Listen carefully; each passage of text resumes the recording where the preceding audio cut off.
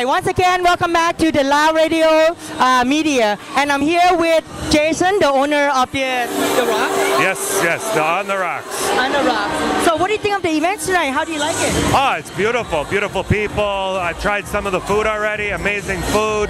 The drinks are going. Uh, the, the show, the first part of it has been amazing. The women are beautiful.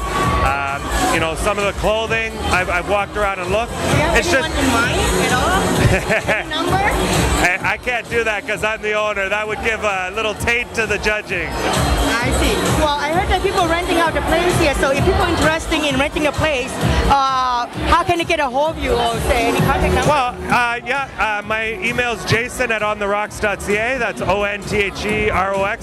Or our website, ontherocks.ca. We do a lot of events, very cultural. We do Spanish, Lao, uh, we do African. We had an African artist here last week. We're very multicultural, so it's, I see. How's the price arranged?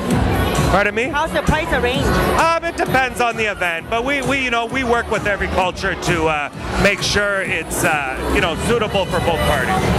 Okay, I see. Well, thank you so much for your time. Thank you. Let's enjoy the rest of the night. Yes, thank you.